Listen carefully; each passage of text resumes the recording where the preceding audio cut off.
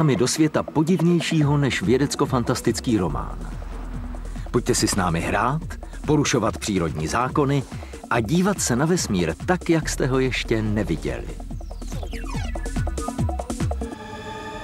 Nahlédneme do světa teorie superstrun, která se zabývá každou energií i substancí od atomu přes naší planetu až po nejvzdálenější galaxie. Od jejich zrození až po čas zániku. Je to teorie, která vysvětluje vše. Naším průvodcem bude Brian Greene, fyzik a autor knihy Elegantní vesmír.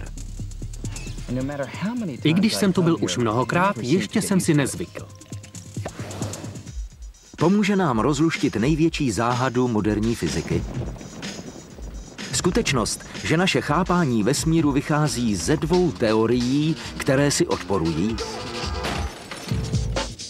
Rozpor nevyřešil ani sám Einstein, přestože se jim zabýval. Po dlouhých desetiletích stojíme před zásadním objevem.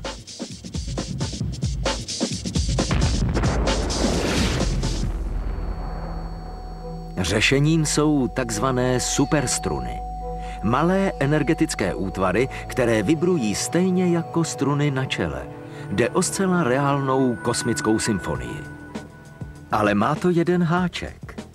Paralelní vesmíry a jedenáct dimenzí, které nikdo z nás neviděl. Je možné, že žijeme ve vesmíru, který má víc rozměrů, než kolik vidíme. Lidé, kteří tvrdili, že existují další rozměry, byli označováni za potrhlé. Jde o vědecký omyl nebo o teorii, která všechno vysvětlí? Pokud teorie superstrun neposkytne dostatečné důkazy, neměli bychom jí věřit. Jde tu o fyziku nebo o filozofii? Jedno je jisté. Teorie superstrun nám už dnes ukazuje, že vesmír je možná mnohem podivnější místo, než jsme si představovali. V tomto dílu uvidíte. Náhodou jsme objevili teorii superstrun. Skromné začátky jedné revoluční myšlenky. Byl jsem přesvědčen, že budu jako druhý Einstein. Lidem se to zdálo šílené. Byl jsem nešťastný, nakonec jsem šel domů a opil se tam. Vědci jsou posedlí hledáním zlatého grálu fyziky. Jsou ale připraveni na to, co je čeká? Pojďte s námi dál do podivuhodného světa elegantního vesmíru.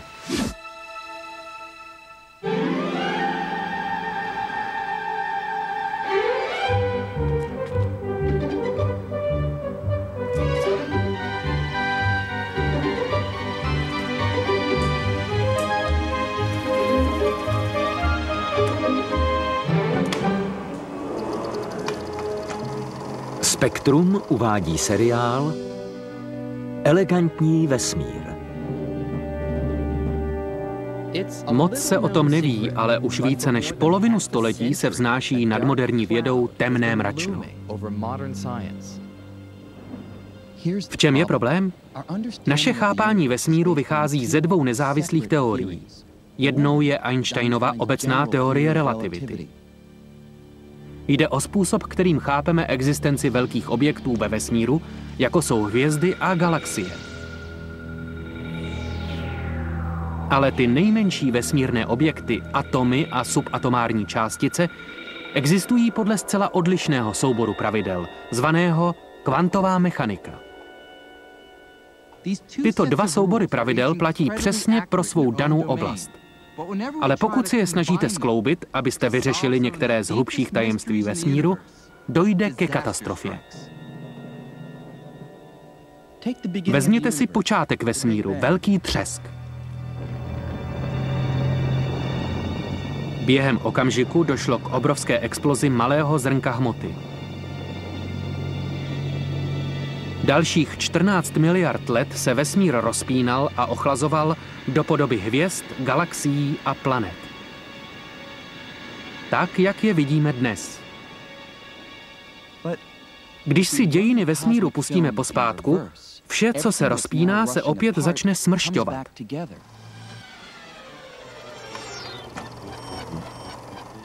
Vesmír se bude zmenšovat a čím dál pronikneme do minulosti, tím vyšší bude teplota a hustota.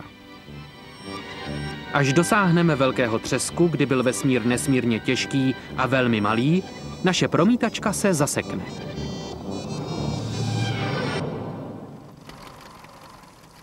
Skloubíme-li oba fyzikální zákony, vše se zhroutí. Ale co kdybychom spojili kvantovou mechaniku s teorií relativity? Pak bychom si mohli prohlédnout celý film. Existuje nová teorie, teorie superstrun, která by to mohla dokázat. Pokud je správná, šlo by o jeden z největších průlomů v dějinách vědy. Jednoho dne by tak teorie superstrun měla dokázat vysvětlit celou přírodu. Od nejmenších částeček hmoty až po ty nejvzdálenější kouty vesmíru. A to vše za použití jediné rekvizity – malých vibrujících proudů energie zvaných superstruny. Ale proč musíme přepsat fyzikální zákony, chceme-li dosáhnout výsledku? Proč nám vůbec vadí, že nejdou spojit dvě teorie? Uvedu názorný příklad. Představte si, že byste žili ve městě řízeném dvěma soubory dopravních předpisů, které by se ovšem navzájem zcela popíraly. Jak vidíte sami, bylo by to pěkně zmatené. Co to děláte? Chceme-li pochopit svět kolem sebe, musíme najít způsob, jak spojit skupiny vzájemně si odporujících zákonů do jediné univerzální soustavy. Vycházíme z předpokladu, že nějaká teorie existuje. Naším úkolem je, budeme-li schopní a pracovití, tu teorii objevit. Nemáme záruku. Ve hvězdách nestojí psáno, že se nám podaří uspět. Jen doufáme, že nakonec objevíme teorii, podle které funguje vše. Než ale tuto teorii najdeme, musíme se vydat na fantastickou cestu, abychom viděli, jak si tyto dva soubory zákonů vzájemně odporují. První zastávkou na této podivuhodné cestě je říše nesmírně velkých objektů.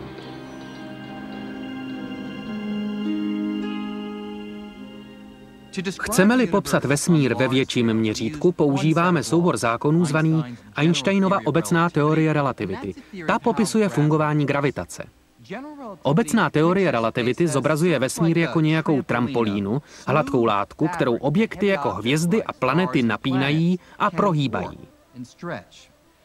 Záhyby a prohnutí pak vytvářejí sílu, kterou pociťujeme jako gravitaci. Gravitační síla, která udržuje Zemi na oběžné dráze kolem Slunce, není nic jiného než skutečnost, že naše planeta kopíruje veškeré záhyby, které ve vesmírné trampolíně vytváří Slunce. Obrázek hladkého a jemně zohýbaného vesmíru, který vychází z teorie relativity, však není zcela kompletní. Chceme-li vesmír pochopit v malém měřítku, Musíme použít kvantovou mechaniku. Ta, jak uvidíte sami, vykresluje vesmír mnohem divočeji. Aspoň ve srovnání s teorií relativity.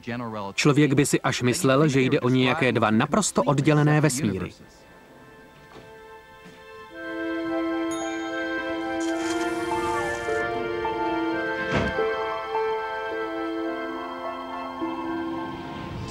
Abychom viděli rozpor mezi obecnou teorií relativity a kvantovou mechanikou, musíme se zmenšit, a to o pořádný kus.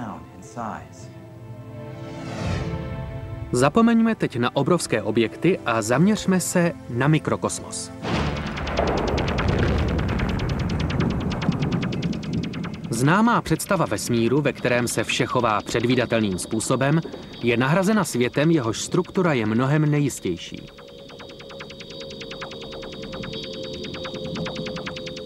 Pokud se budeme stále zmenšovat, dostaneme se k objektům trilionkrát menším, než jsou ty nejmenší částečky hmoty, tedy atomy, i drobné částice v jejich nitru.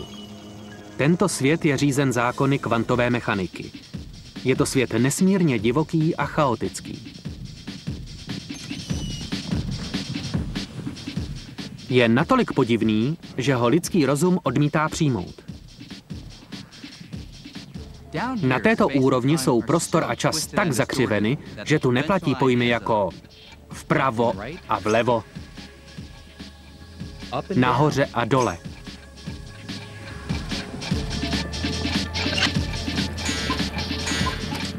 Stírá se dokonce rozdíl mezi tím, co bylo a tím, co bude. Nemohu s jistotou tvrdit, že jsem tady, nebo tady, nebo na obou místech najednou. Možná jsem tady byl i dřív, než jsem přišel.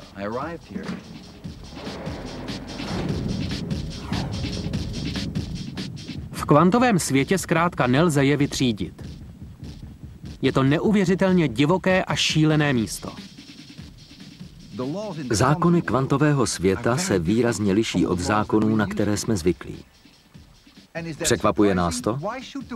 Ale proč by měl mikrosvět, svět na úrovni atomů, poslouchat tytéž zákony a pravidla, na které jsme zvyklí v našem světě, kde rostou jablka a pomeranče a kde po ulicích chodí lidé? Proč by se tenhle svět musel chovat stejně?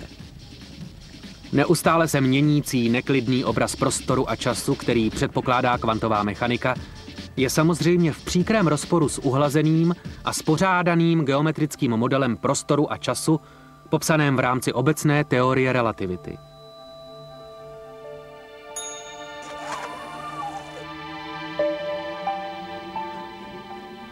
Přesto se domníváme, že vše počínaje šíleným tancem subatomárních částic a konče majestátními spirálami galaxií, se dá vysvětlit na základě jediného fyzikálního zákona jedné univerzální rovnice. Najdeme-li tuto rovnici, můžeme zjistit, jak vesmír funguje doopravdy. A to na každém místě a v každé době. Potřebujeme tedy teorii, která bude vyhovovat jak malým, tak velkým objektům která spojí kvantovou mechaniku a obecnou teorii relativity a která bude fungovat univerzálně.